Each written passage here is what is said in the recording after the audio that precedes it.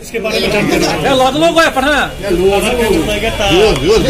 हाँ। हाँ, sir sir sir जो यहाँ आज फ्लोर टेस्ट किया गया तो उसके बारे में बताइए कि कैसा रहा। लोगों देखिए आज यहाँ no confidence motion against deputy mayor था तो हमने 11 बजे इजलास बुलाया था।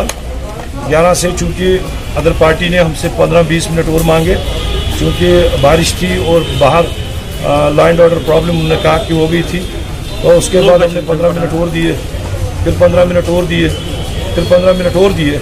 उनकी रिक्वेस्ट पे। तो लेकिन कोरम बराबर नहीं था। 26 ने साइन किए।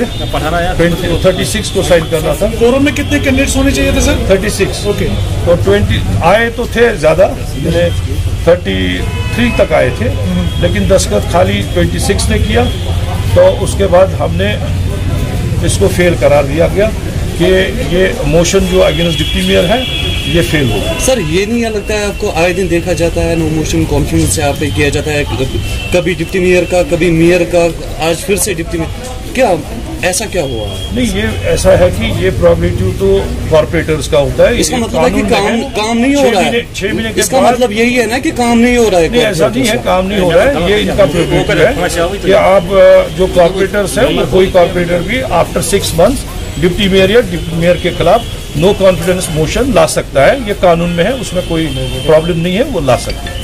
कमिश्नर साहब एक अ, मैं जानना चाहता हूँ आपसे अभी तक बहुत सारे ऐसे मोशंस किए गए क्या ऐसा प्रोसीजर है कि मतलब ऐसे चीज़ों से हम गुरेज करें या डिजॉल्व इसको करें? क्योंकि आए दिन देखा जा रहा है कि म्यूनसिपलिटी इससे सफ़र कर रही है। देखिए मैंने पहले भी कहा छः महीने तक कोई भी कॉरपोरेटर मोशन ला सकता है नो कॉन्फिडेंस मोशन लेकिन जो जहाँ तक डिजॉल्व का ये ताल्लुक है वो मेरे हाथ में नहीं है। क्योंकि उसमें अ, बहुत दिक्कतें होती हैं डिजॉल्व करने में।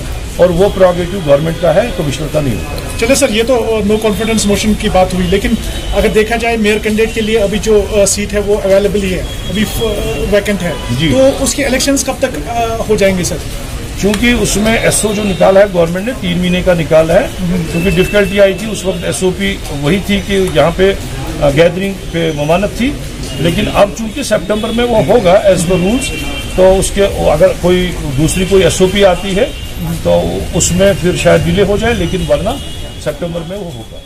Thank you sir